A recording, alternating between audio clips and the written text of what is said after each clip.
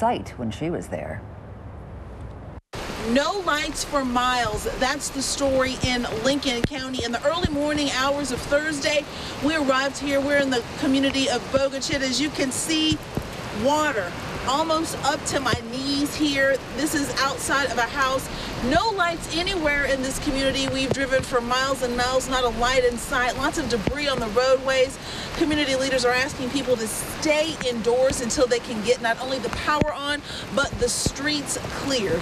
Reporting from Lincoln County, Melissa Faith Payne, WJTV News Channel 12.